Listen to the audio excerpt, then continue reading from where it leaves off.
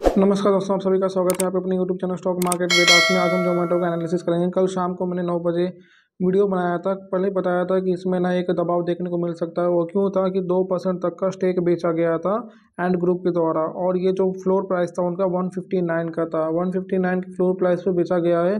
जो कि एक से डेढ़ परसेंट तक का डाउन साइड डाउन में ही बेचा गया मतलब सस्ते में बेच दिया गया था। तो एक तरह से कल का जब मार्केट जब ओपन होगा तो इसमें दबाव देखने को मिल सकता है वन सिक्सटी तक का पहले हमको टारगेट देखने को मिल सकता है, वो भी डाउन साइड पे तो देख लीजिए, आज मार्केट ओपन हुआ तो वन फिफ्टी नाइन से वन सिक्सटी के रेंज में अभी मार्केट ट्रेड हो रहा है तीन परसेंट तक का डाउन साइड देखने को मिल रहा है। अभी इसमें आगे क्या हो सकता है? तो आगे के जो है कंपनी का फंडामेंटली बहुत अच्छा है कंपनी धीरे धीरे प्रॉफिट भी कर रही है तो हम अपना जो टारगेट रहेगा वन फिफ्टी तक का सपोर्ट लेवल मान के अगला जो हमको अपसाइड का टारगेट देखने को मिल सकता है, वो है एक सौ सत्तर तक का देखने को मिल सकता है। क्यों ऐसा बोल रहा हूँ? क्योंकि देख लीजिए, इसमें जो है ना, पहले भी कई लोग ना बेच बेच के निकले हैं। क्यों बेच बेच के ये लोग निकल रहे हैं? क्योंकि ये जो होते हैं ना, जब कंपनी की शुरुआत हुई थी ना, तभी इन्वेस्ट किए थे और तब का इन्वेस्टमेंट है और हर कोई इन्वेस्टमेंट करता है तो प्रॉफिट के लिए करता है।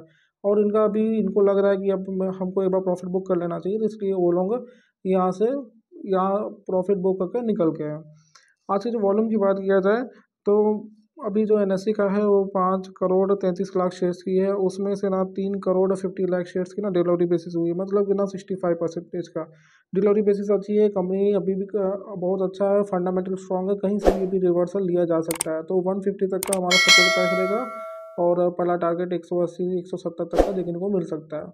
ये वीडियो सिर्फ़ एजुकेशन पर्पज़ के लिए भाई चलो कोई रिकमेंडेशन नहीं है। चैनल पर पहली बार आए तो सब्सक्राइब ज़रूर करेगा धन्यवाद। जय हिंद।